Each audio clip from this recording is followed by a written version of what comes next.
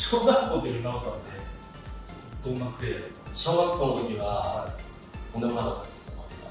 パスもね小学校4年生ぐらいに嫌なかっただからドリブルはとにかく得意だったのとやっぱプロになってからめちゃくちゃ生きてるなと身になってるというかそれがベースだな奈緒さんはもうそういう例えば周りの雑音とかもう全く気にしないそういう葛藤があったけど、はいあの自分がね成長していくことで周りがの成長とは違う成長曲線を描くでも俺は自分の目標があるし叶えたいしだけどサッカークラブでいるしサッカークラブで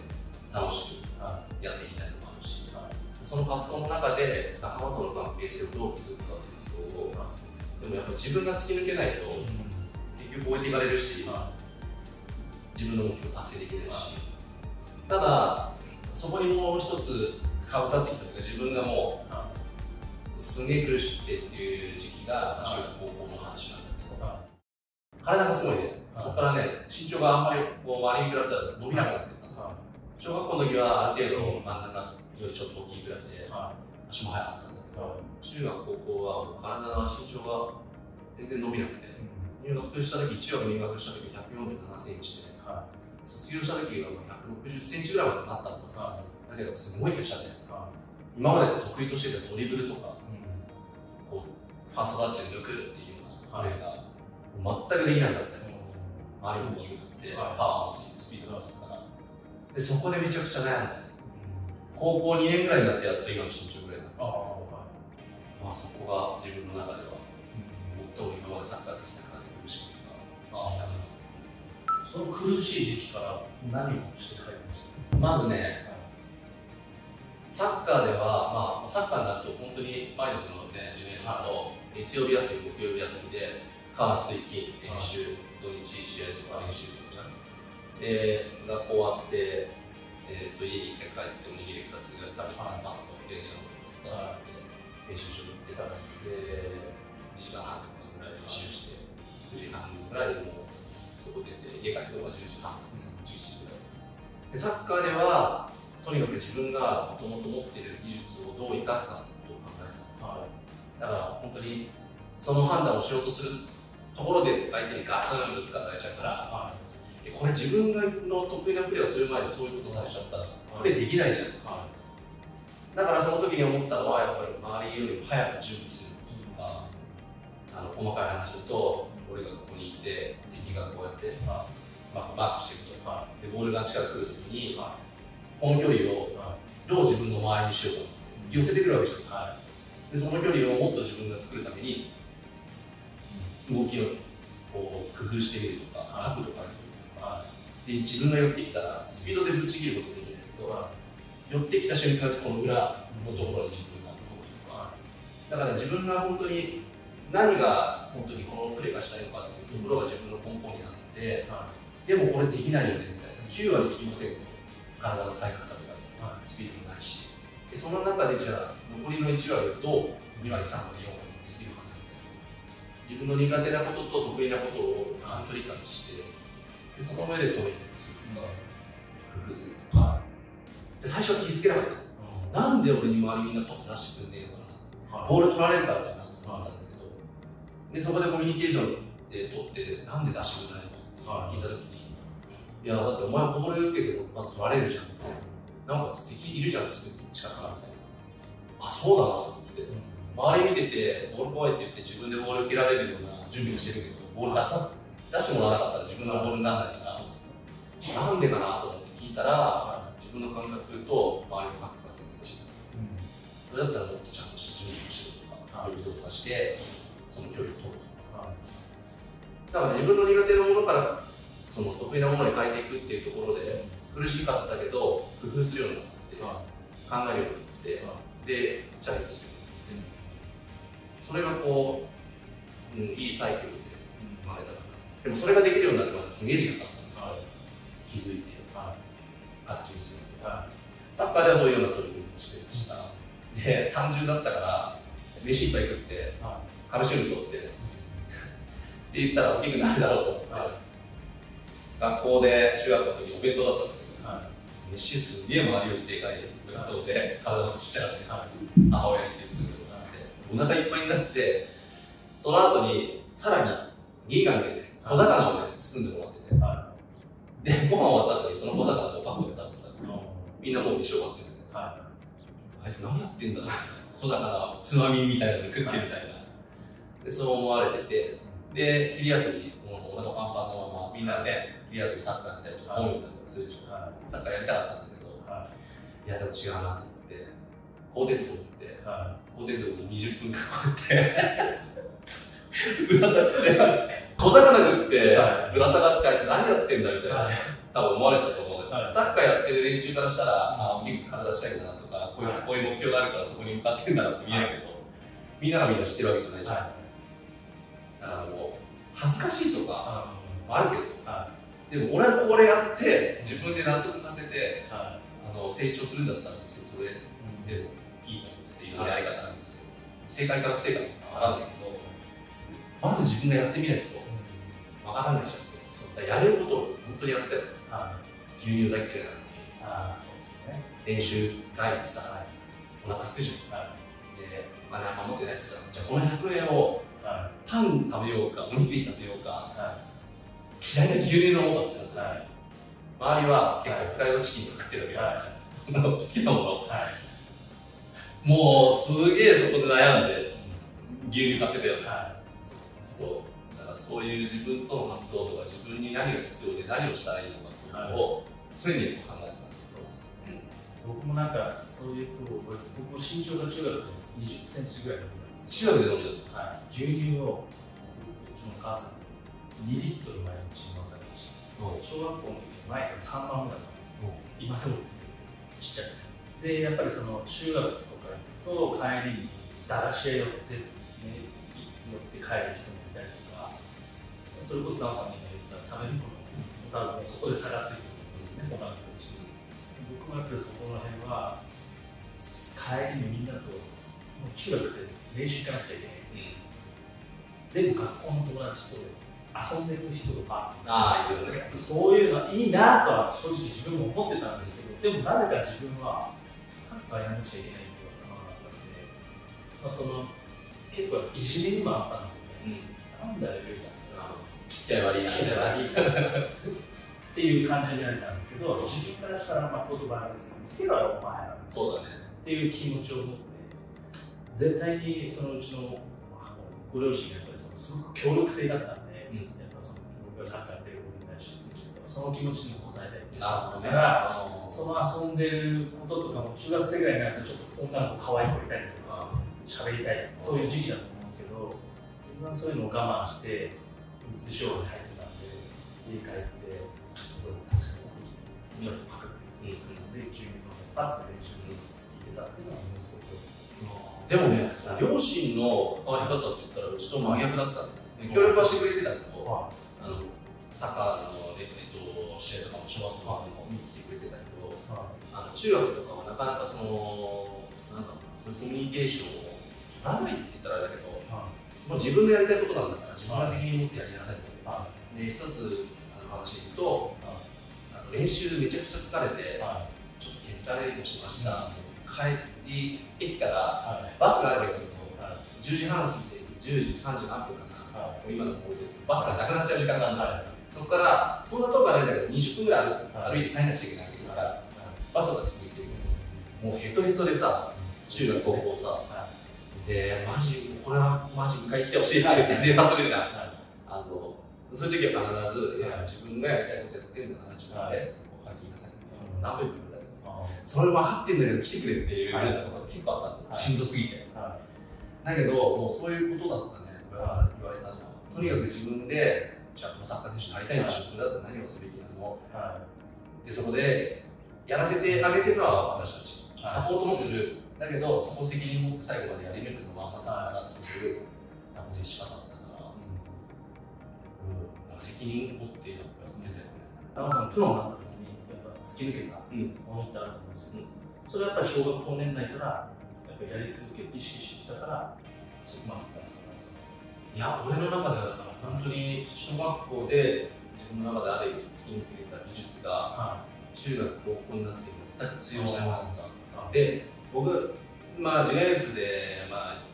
ジュネースユースから、はある意味その6年間見てもらえてたんでね、もちろん、えっと、中学3年間で可能性がなかったりすればユースに上がれないし、だけど自分がその中3の時に技術があって体小さいけど、まあ、この先もう少しやっぱその技術持って可能性もあるだろうっていうことで多分ユースに受けてもらったと思うんですけど。3つで中村俊介さんがいたのね、でかぶったんだけど俊さんもやっぱり中学の時に技術だったり体が小さくて、それでユースやられてなくて東工学院行って3年間であれで活躍して、ね、プロ入ってっていう流れは本当にもう多分せ自分と重ね合わせた時に、あすごい似てるなって当時振り返ったら、その当時は周さんとも知らなかった、でもそういうこう経歴を多分コーチ陣は見てるし、あるいは全体としても分かってるし、だから多分そういうような選手の可能性も含めてこれは上げてくれたんじゃないかなそういう前例があったら、でユースで体が大きくなって技術のものがあれば多分結果も出てくるだろうし、ところで言ってもらったんだけど結局高校2年ぐらいで、ね、そういうところが落ち着かなくて、試合もユースは上がったけど、まず1年生全然出られません、2年生ちょこっと出始めたかなと思ったけど、よし、ここから3年生に向けて、これはプロになったら皆さんしないとっていうふうに思ってたところで、マリノスとフリューゲンス、まあ多分子供たちも分からないかもしれないですけど、もともと母親の FC、フリューゲンスがなくなったでしょ。その中で、こうまた、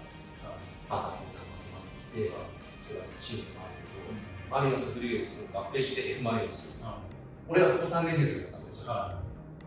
だから、ここからじゃあもう一回チャンスを自分で掴んでプロになるっていうので、高校2年生ぐらいから、ちょこちょこ出だしたけど、自分のイメージとは全然噛み合わない。っていう、そのイメージと現実のギャップの中で戦ってた中で、またいきなりまた外的要因でこう、2チームが1部になる。でユースは1チームになる。ジュエースは、えっと、横浜 F もあります、菅田とか、オッパマとか、新クラスとか、ユースは全部一緒だったんで、2チームが1チーム。で基本的にじゃあ競争も2倍になるし、人数も2倍になるし、でそこでまた自分の試合出られなくなって、高校3年生で、自分のずっと追い求めてたプロってこれなれないんじゃないかなっていうふうに思ったででもそこでもやっぱ変わらなかったんですよ、やり続けるべきこと。で何何かっていうと、やっぱ試合出られないなら何ができるかとか、改めて自分が試合出るために何をするかとか、体がその時は大きくなって、今の身長になったんです。じゃあこれで続けてたらパワーも多分うまく使えるようになる。じゃあもともと持ってた技術をうまくこうやって噛み合わせてやっていく。で、ポジションもね、中盤の真ん中からサイドで変わったから、そのサイドでのポジションの駆け引きとかっていうのをそこで覚えて自分のプレーのパワーとかネガティブなことをいろいろポジティブにこう学んで形を変えてい。って、ね、クラブユースの前、2週間ぐらい前かな、全国大会の前の2週間前ぐらいに、僕と同じポジションで出てたライバルで1個下の選手がいたんだけど、偶然怪我した偶然というか、高3高3の時に、そうそう。で、クラブユースで活躍して、最後はそこでプロになるかならないかという判断が下されるんだけど、俺はそこまで出てなかったから。でも、こんだけ自分が積み重ねていろいろやってきたら、なんかあるんじゃないかなっていうぐらいの根拠のない自信がそこであったんだけど、本当に2週間前に怪我して、そのポジション入って、もうここだと思ってさ。で、そこで自分が試合に出てってというか、メンバーに入って、全国大会出て、もう今までのハマってきたのが、だから5年半ぐらいだよね、ジュニアユースでうまくいきません、ユースでうまくいきませんけども、もうここで出さなきゃいつ出すんだってブワーってね、動き回ったの、今まで溜まってたの、全部出しちゃ思議だけど、本当ね、何でもできる感覚あるじゃん、プレイしててさ、調子もいい、体の体もいい、イメージ通りだって、それがその時に、すべて起きて、大事な時期。そう、ここしかないっていう危機感と、持ってるっていうか、まあ、自分の中でそういうふうに引き寄せたと思ってて、それぐらいの積み重ねだったり、いろんなこう考えをずっと積み重ねてやってきたじゃん。それがもうそこでしか発揮できないけど、その時にじゃあ何ができるかな、チャンスがやれないとか、あの自分がそういうふうに評価されてないとか、日々いろんなことは思うんだけど、でもやるべきことをそこで自分がちゃんとやれば、その可能性がまた広がるし、その経験はやっぱでかかったね。中学、小学校までは順調に行ってたけど、中学高校で、うまくいかないでそういうふうに育成の年代でうまくいかない。じゃあどうしよう。どうしたらこういい方向に流れを持っていけるのかっていうことを経験をやっぱして。経験だけじゃなくてその形にするそれが早い段階だっていうかきっと中学あのプロになったら思ったんだけど、はい、乗り物方一緒なんだよね、はい、試合出られません、はい、監督に認めてもらえません、はい、じゃそのために何するのいや、あの監督だからとか、このチームだからとかっていうことを言ってたら、もうそのままで、はいまあ、多分言うかなってそこでじゃあ自分が何するのか、何が大事なのか、常に自分に問いかけるじゃないですか。そうすると、やっぱプロになってからでも乗り越え方も知ってるから、はい、プロでも生き残れるし、あの上のレベルに行ってもやるべきことは変わらないんですけど、これがまた、順調にいっててプロのやついるじゃん。そういうやつって絶対最初に試合出らんないじゃん。で、ブーブー言うじゃん。ブーブー言ってましたブーブーって言って、ナオさん。にいつも、ナオさん。はすごく優しいので、ちゃん。とその、僕に対しての性格を読み切って言ってくれるん。で、当時、その、モニアさん。とか、もうめちゃくちゃ文句言われて、まあ、ガッて言っちゃうん。ですけど、そういうふうに言われる人がいたら、でも、ナオさん。はそうだよ。僕のあれ分かった上で言ってくれるん。で、このかっこいいナオさん。から言われたら聞かないとなって思って、いつも、慰められてました。いや、だから、言ったのがもう典型ですよ。本当にね、あの、いろんなプロもあっただろうけど、FC 東京が初めて育成から出たプロの選手で、いろんな注目もあって、ユータなんかで言ったらね、グラブユースになって MVP でしょ。俺だってグラブユースでそこで MVP まではいかないけど、そこにまず出れるか出れないかっていう立場だったから、ユータもそこで結果残して MVP になって、何者入りじゃないけど、職業をね、取ったでもやっぱり試合、最初はちょっと出てたりしながら、ずっと継続して続けることってなかったですよ。で、そこで多分ユータのこう、カビリビジョンだった時に、じゃあ、ユータってどういう行動をして、どういうふうにするのかな。やっぱでも、みたいな感じだったから、いやそうじゃ、まあ、分かるよ、それは。でも、まず一つ俺が認めるのは、なんでだよっていう気持ちを表せるぐらいのエネルギーがまずあるかと思います。それを表さない子もいるし、いや絶対悔しいでしょ。悔しいものは悔しいって出さないと、やっぱりこう、次へのそのエネルギーにならなかったそういうエネルギーをめちゃくちゃ持ってる選手だったんで、その尖った感じをどううまく導いてあげたら、ユータらしくプレーできるかとか、ユータがプレーでうまく心の底から楽しくプレーできるってことは、一緒に戦ってる俺も、ユータ使う側で僕は使われる側だったんで。めちゃくちゃいいボールが出てくるんですよ。でもユータがこんなになってるといいボールも出てこなければ、周りもユータも見えないし、だからやっぱチームの一員として、ユータがそこで必要で、ユータが楽しくうまくなっていくためには、そういう声がけとか、参考とか、それはもう、さんに対して、すごい助かってましたそういう意見来ない人いるじゃないですか。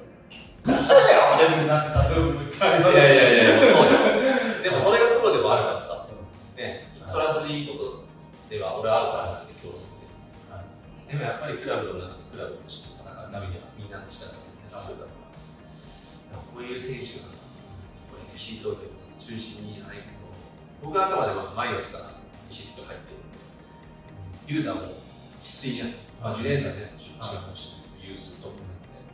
そういう選手が出てきたっていうのは、FC 東京からしてみたらすごい価値があることだし、それをいい形で、ね、一緒になって取り組んでいけたらっていうふうに思ってて。